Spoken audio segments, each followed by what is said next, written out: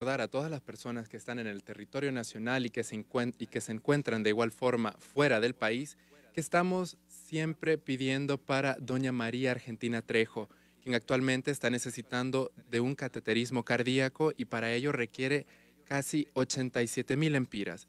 Por favor, apóyenos, ya sea dando un donativo económico en las cuentas en Banco Ficosa, ya sea en Lempiras, de 2000-0425-4162 o en dólares 2000 0459 3455 a nombre de Audio Video Beneficencias. También un consejo más, Sardina La Sirena, 100 años en tu hogar llenas de puro sabor y nutrición, ricas en omega 3. A todos nos encanta La Sirena.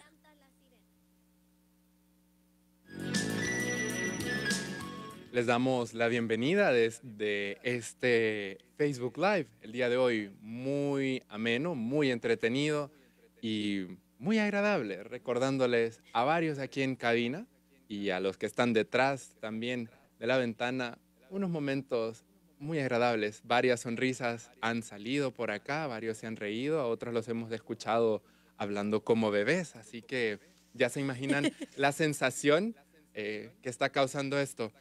Tenemos eh, a la licenciada Patricia Vélez el día de hoy que nos va a acompañar y nos quiere brindar una información para que estén pendientes.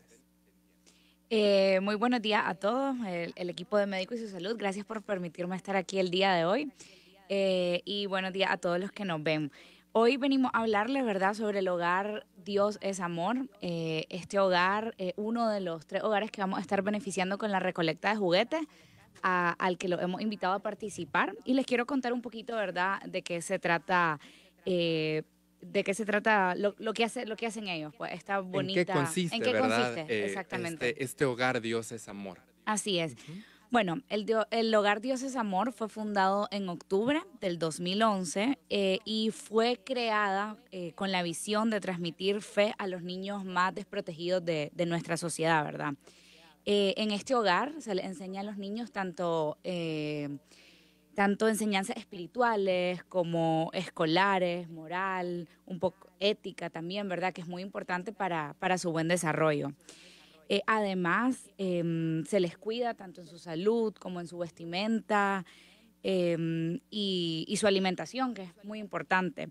En este hogar tenemos niños desde un año hasta 14 años de edad y lo invitamos, ¿verdad?, que este Día del Niño les regalemos una sonrisa, lleguemos con ese juguete que les va, les va a cambiar el día.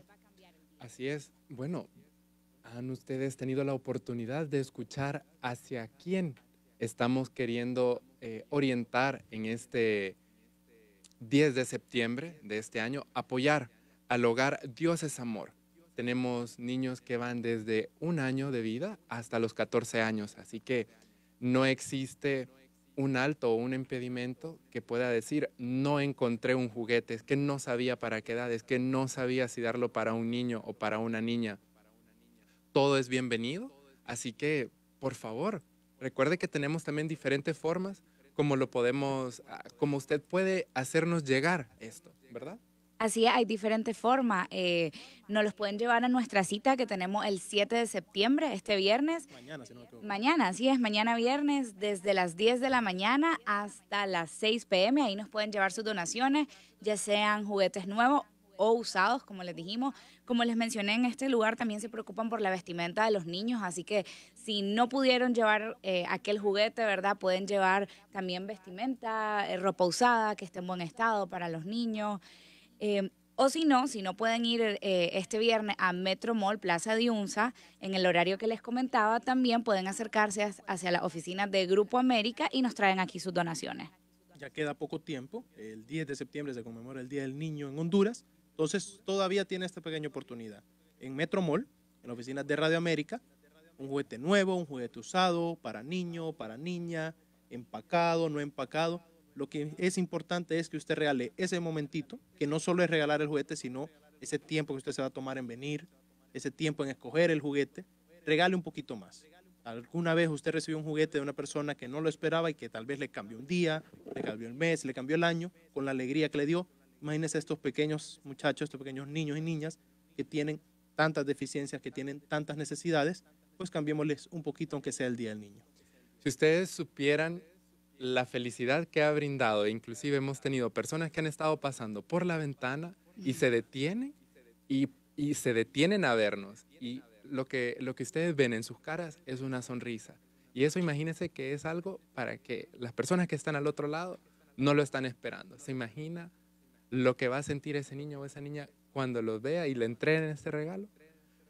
En realidad que solamente viviéndolo o por lo menos compartiendo esto, usted va a tenerlo claro. Estén pendientes también porque nos había comentado anteriormente también la licenciada de que se va a estar eh, transmitiendo eh, cuando se esté haciendo la entrega de estos regalos. Así que usted también va a poder ver y ser partícipe de todo este movimiento. Y todo lo que ustedes están viendo aquí son parte de las donaciones que han venido a dejar. Así que queremos agradecer a todas las personas que de muy buen corazón han estado compartiendo y, han y se han acercado a nuestra institución y han confiado en nosotros para que podamos hacer este momento de alegría. Ya, ya el equipo del médico y su salud nos, nos trajo sus donaciones, ¿verdad? Así que ahora solo faltan ustedes, los que nos están escuchando, los que nos están viendo, que nos traigan su aportación. Así es, los esperamos y como dijo el doctor Rivera, los niños están, bueno, ellos no se lo esperan, creo. No, no Así que no me imagino la risa de un niño cuando, o lo que va a sentir cuando le den un juguete, el día del niño, que se acuerden de ellos. Así que le invitamos a que usted aporte su granito de arena a esta causa que es demasiado noble es para llevarle una sonrisa a alguien. Así es. Bueno, también eh, tenemos que hacer un momento a, un lado eh, de este momento de alegría y tenemos que continuar porque también queremos compartir con ustedes, queremos escucharlos, queremos saber si tiene algún saludo, si tiene alguna pregunta. Si solamente quiere mandarnos un emoji, pues le queremos pedir a la licenciada Tatiana Gutiérrez que nos recuerde las diferentes formas como usted lo puede hacer. Póngase en contacto con nosotros a través de WhatsApp o de mensaje de texto al 95 20 20 80. Si no, búsquenos en nuestra página de Facebook como El Médico y su Salud. Ya estamos en nuestro Facebook Live, puede mandarnos sus saludos, su emoji, y aquí los vamos a estar respondiendo y saludando. Nos vamos a través de la plataforma de WhatsApp y nos dicen, buenos días doctor, Dios le bendiga. Una pregunta, ¿una mujer puede tener relaciones aún andando con la menstruación sin protección? Espero la respuesta, los escucho en Marcala La Paz. Bueno, eh, sí se puede tener relaciones, no hay una contraindicación clara, pero hay que tener algunos aspectos eh, marcados. Por ejemplo, hay mucha sensibilidad, la mujer en esa época está muy sensible, entonces algunas sí, algunas no, pero sí puede haber algún grado de dolor durante la relación sexual que puede haber algún problema.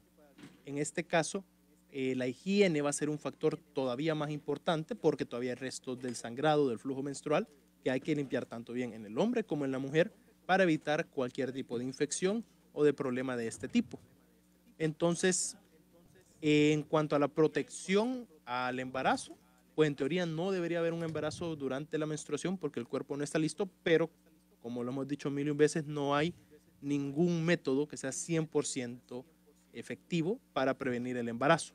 Entonces sí sería muy raro, pero sí puede llegar a ser posible que usted quede embarazada en estas fechas. Entonces, si no desea hacerlo, siempre es importante que utilice algún método de planificación aún durante estos días. Saludamos a Delson Edison que nos dice un saludo para todos desde Roatán. Bueno, un saludo hasta Roatán. Queremos agradecer a todas las personas que siempre están pendientes. Ya hemos tenido, creo que son dos comunicaciones en lo que va de esta semana desde Roatán. Desde Roatán. Igual siempre nos han mandado mensajes de texto, si no es por llamada, si no en nuestro Facebook Live, entonces les agradecemos. Así es. Igual cualquier consulta, ya saben que los doctores están a la orden. Nos dicen, buen día doctores, excelente tripleta, los felicito. Pregunto, a la vecina le dio un derrame cerebral, de inmediato se llevó al hospital escuela, le practicaron dos operaciones cerebrales. Estuvo 45 días interna, las operaciones fueron al lado derecho, pero no tiene movilidad la mano izquierda y tampoco la pierna izquierda. Es de 49 años. ¿A qué se debe que no puede mover esas partes que les mencioné? Bendiciones bueno, hay una alteración motora, obviamente, hay que entender que tenemos, y es lo que hablábamos al principio, dependiendo de dónde sea eh, el daño, dónde fue el derrame, más o menos vamos a ver qué tipo de síntomas hay. Esto es muy común. La información que va del cerebro hacia el cuerpo y que viene del cuerpo hacia el cerebro, viene del cerebro hacia la columna vertebral y después sale a través de los diferentes nervios. hay un punto donde estos nervios se cruzan, digamos alrededor de la parte de la nuca. Entonces es común que cuando hay un daño en el lado derecho, en el cerebro derecho, se manifieste en el hemicuerpo, en el lado del cuerpo izquierdo, y viceversa. Si el daño es en el izquierdo, es en el derecho. Esto nos ayuda mucho a nosotros para ubicar a qué nivel está la lesión, en qué punto puede estar el daño. Entonces sí es bastante común. Hay, dependiendo de cómo haya sido el caso, de la gravedad del derrame, podemos ver qué tanto se puede recuperar de esta función. Porque sí se puede ir recuperando algo de actividad, mientras que otra hay un daño permanente. Esto depende mucho cuánto tiempo tomó entre que la persona tuvo el derrame y recibió la atención médica adecuada. Siempre es correcto que después de estos procesos vaya algún proceso de rehabilitación, porque incluso puede haber afectación en la boca, que cueste la masticación, la deglución, y que incluso hay que volver a enseñar cómo masticar para evitar cualquier tipo de problemas. Buen día, doctor. Tengo una pregunta. ¿Las personas que padecen de migraña les puede dar aneurisma cerebral? O me gustaría que me explicara más qué es la migraña. Bueno, podemos desarrollar y vamos a tomar en cuenta su sugerencia para poder hablar eh, a futuro. Probablemente siempre sería un día jueves hablar un poco más de migraña. Tal vez lo que lo pueda estar confundiendo es que hay algunas personas que sienten dolores. Bueno, la migraña se manifiesta usualmente como un tipo de dolor de cabeza. En algunas personas logran identificar cuándo es que les va a dar porque tienen ya diagnosticados eh, o identificados, mejor dicho, algunos eh, síntomas previos a que comience la migraña. Pero en relación a la migraña del accidente cerebrovascular, o como se le dice vulgarmente, un derrame, lo que sucede es que en algunas personas el, el dolor de cabeza puede ser muy intenso y es esto lo que lo pudiese estar confundiendo. Pero por decir propiamente que hay una relación estrecha y tan relacionada, no es que hay. Recordemos que hay varios eh, factores de riesgo, dentro de ellos, por ejemplo, una presión arterial alta. Y usualmente en las personas que tienen presión arterial alta, se, se, encuentra o lo que pueden referir es simplemente un dolor de cabeza pequeñito, que es tranquilo y usualmente es por las mañanas. Así que no, por el momento, no sé si existe propiamente una relación directa que se haya encontrado. Puede ser que esté en estudio o puede ser de que ya la hayan encontrado, en realidad lo desconozco, pero vamos a tomar en cuenta su sugerencia y vamos a hablar acerca de la migraña. Sí, la migraña como tal no causa un aneurisma. Los aneurismas usualmente en la mayor parte tienen un factor genético, un antecedente familiar incluso. Y también hay otros problemas específicos como coartación de la aorta, endocarditis, eh, poliquistosis renal. Son enfermedades bien específicas. Incluso se dice que el 5% de la población puede llegar a desarrollar un aneurisma, pero no todos ellos van a ser sintomáticos y no todos ellos terminan en ruptura. Entonces, si su riesgo es que tiene migraña y le da miedo que pueda tener un aneurisma, no es así, no es el caso. Pero siempre hay que hacer algunas medidas. Prevenir el consumo excesivo de alcohol, cigarrillo, que afecta mucho a la circulación, a, los, a las venitas y las arterias más pequeñas y vamos a prevenir todo ese tipo de problemas. Manejar bien las presiones de hipertensión arterial para tratar de prevenir cualquier tipo de daño como un evento cerebrovascular, que fue el tema del día de hoy. Queremos también saludar a las personas que están con nosotros a través de nuestro Facebook Live, como Alex Barnica García, Erika Ponce que dice hola desde Olancho, Víctor Amaya, José Alberto Medrano, Carmen Wolf. Alex nos dice hola, saludos aquí, siempre viéndolos desde Los Ángeles, California. Un saludo. Gloria Rodríguez, que ya pronto le toca el programa a a las 10 de la mañana. Un saludo. También Pedro Luis Maradiaga dice, saludos amigos desde Monjaraz, Marcovia, Choluteca. Es un excelente programa, los escucho todos los días. Gracias por orientar a la población en el tema de salud. Dios los bendiga, Pedro Maradiaga. Bueno, muchas gracias a Pedro por sus saludos. De igual forma, bendiciones. También tenemos a Rosbel Murillo, que dice un saludo desde Oklahoma. Denis Cepeda, Pastora Ramírez. Delson, que lo saludamos hasta Roatán, que dice un saludo para todos ustedes. Edwin Hernández. Eh, Lorena Morena, que dice feliz día a todos. Fátima Castañeda, saludos para todos en cabina. Hasta hoy los miro por Facebook. Están guapos los tres. Gracias. Bueno, muchas gracias. Edwin Hernández dice saludos desde Nueva York. Wilmer Flores dice Saludos desde Carolina del Norte, excelente programa, se les quiere mucho mi gente. echándole un ojo a la bonita que no se ponga a jugar con la muñeca que tiene. No, los vamos a regalar, pero gracias. para nosotros. sí, no, no son para nosotros. Bueno, ya rato están jugando con el elmo aquí. Sí, eh, ha sido un juguete muy cotizado en realidad por varios que están fuera, pero lastimosamente no son para nosotros. Sí, así que únase a las donaciones también. Llénenos aquí un poquito más la cabina. También estamos saludando a Castillita Catillo que dice Dios los bendiga desde Nueva York. Ahora sí entramos a las llamadas para que usted haga su consulta, su participación o su comentario al 2232-1009 o al 2290-4950. Les recordamos que siempre antes de comunicarse con nosotros, por favor, le baje el volumen a su radio y nos escuche solamente por el teléfono y se pegue bien. Vamos con nuestra primera llamada en la línea 2. Hola, buen día. Buenos días. ¿Qué tal? ¿Cómo está? Buenos días. Buenos días. ¿Qué tal? ¿Cómo está? Buenos días. Muy bien, doctor. Que me alegra escucharlo. Igualmente. Cuéntenos. ¿cómo?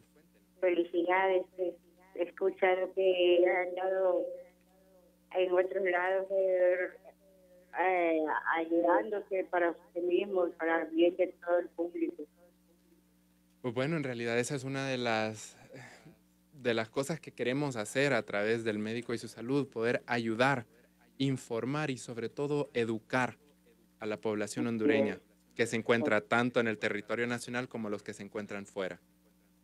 Lo felicito. Y bendiciones para usted y los, los que lo acompañan. Muchísimas gracias. ¿Podemos tener el, el gusto y el honor de saber con quién hablamos? Eh, ¿de quién le está hablando? Berta. Hola, doña Berta Zambrano, ¿verdad? Sí, de allí. Qué gusto, un placer escucharla, doña Berta. No la, no la había reconocido, pero ahora sí ya. Sí, Un razón. placer, doña Berta. Qué Ya gusto. días no, no platico con usted estos días, he estado tratando de comunicarme y no he podido, porque en realidad que necesito hablar con usted.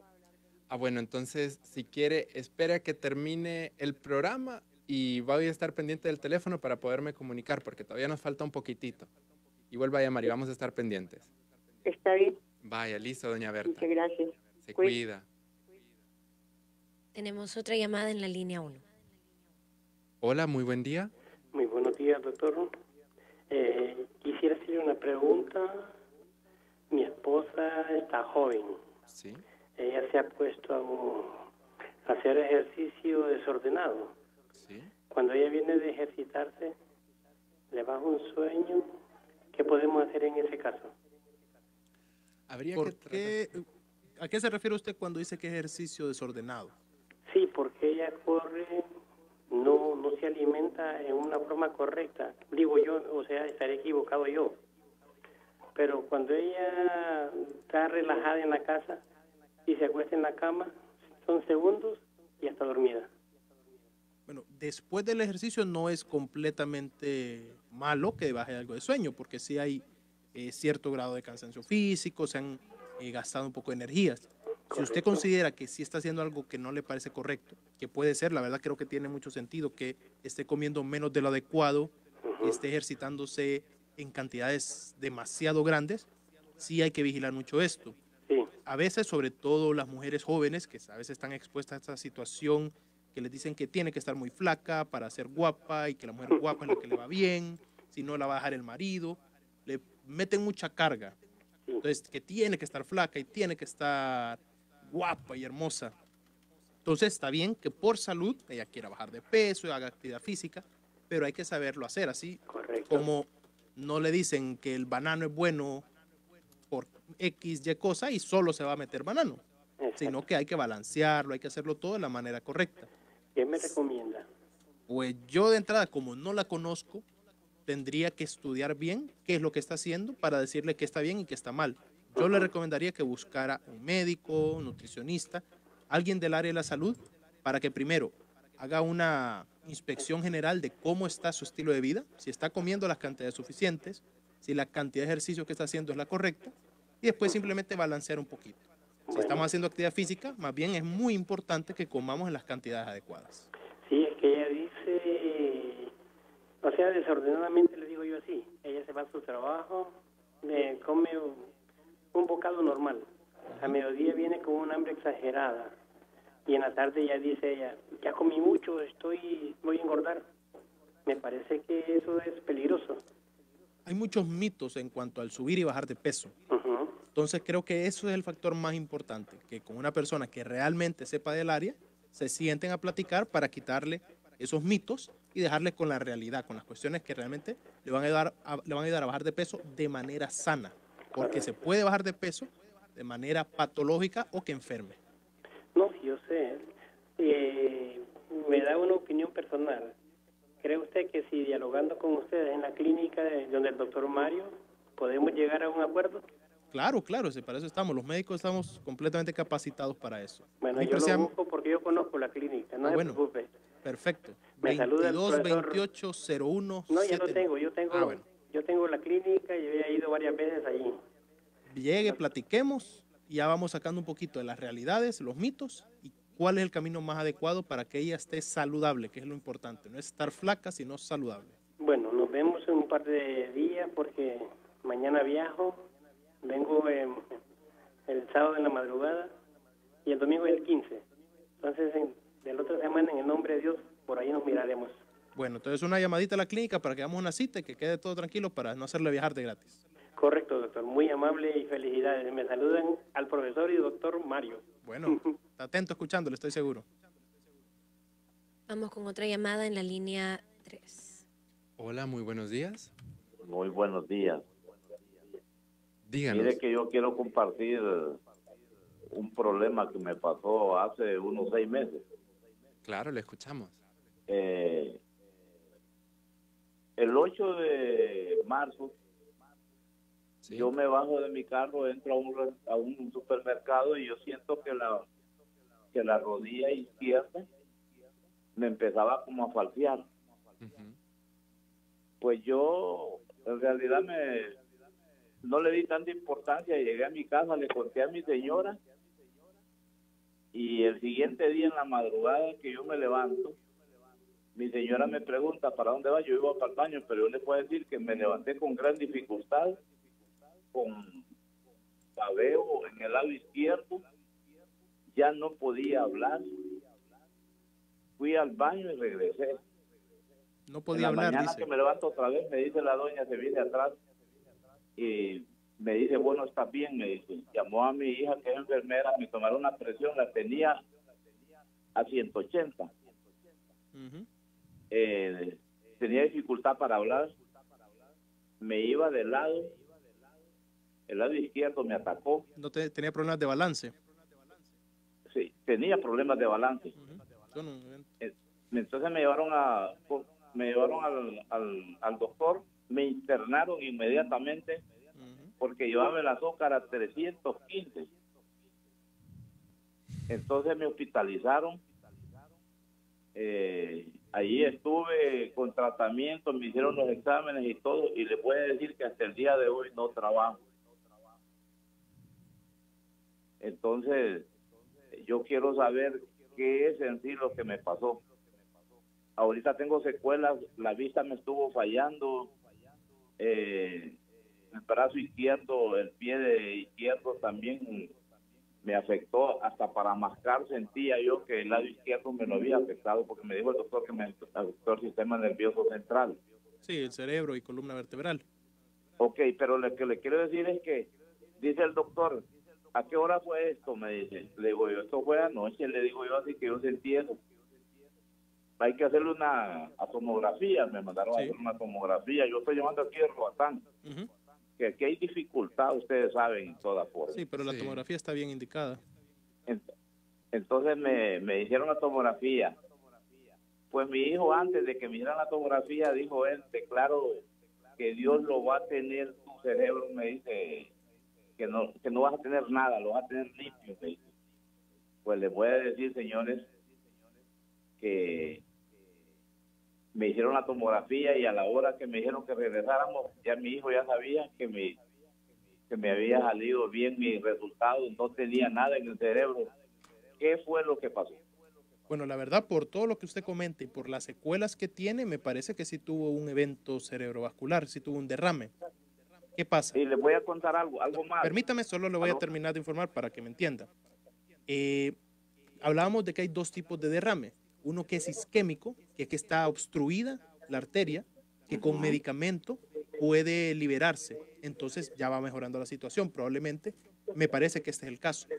La otra opción es la hemorrágica, que empieza a sangrar y ahí sí es mucho más grave y el proceso para tratarlo es muy complicado y probablemente es cuando la mayoría de personas mueren.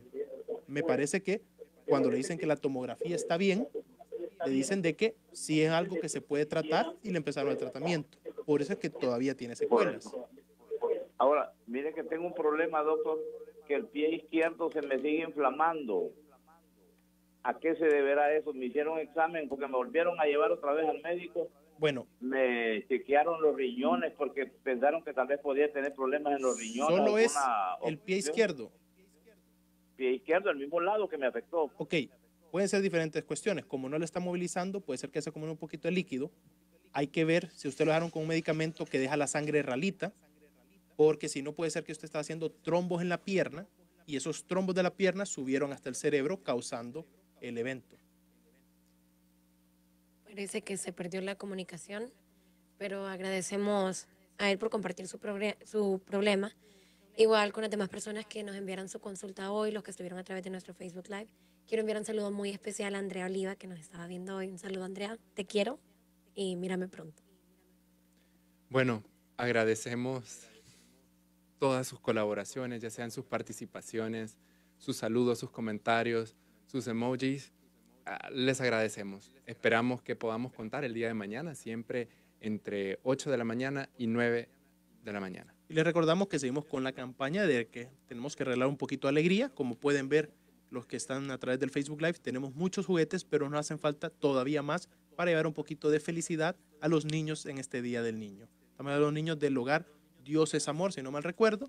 Y tenemos el día de mañana en Metro Mall, una actividad donde usted puede llevar sus juguetes. También puede traerlo aquí a las cabinas de Radio América, en la oficina de la colonia Alameda. Les agradecemos su participación, les agradecemos su corazón, estas ganas de seguir apoyando a estos pequeños y por estar constantemente con el médico y su salud. Radio América presentó El Médico y su Salud. Escúchenos de lunes a viernes. Te invitamos a